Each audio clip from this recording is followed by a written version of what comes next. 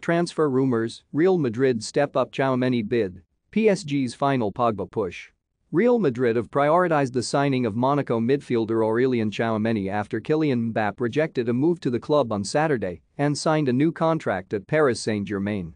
Liverpool and Chelsea are also interested in the 22-year-old. Everton forward Richarlison, who was a favorite under Carlo Ancelotti in his time at Goodison Park, has also emerged as an alternative Real Madrid target to Mbappe.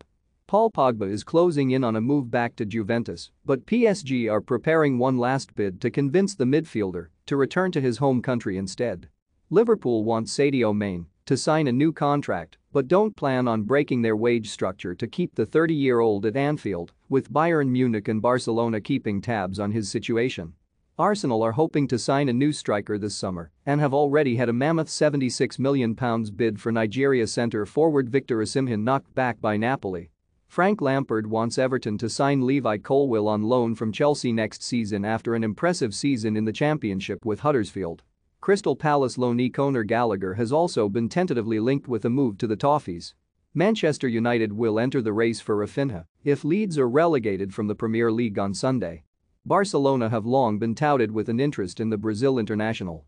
Brighton are hopeful that they can hold on to Marc Cucurella for at least one more season after Manchester City's interest came to light this week. Listen now to 90 Min's brand new podcast, Talking Transfers, with Scott Saunders, Graham Bailey and Toby Cudworth.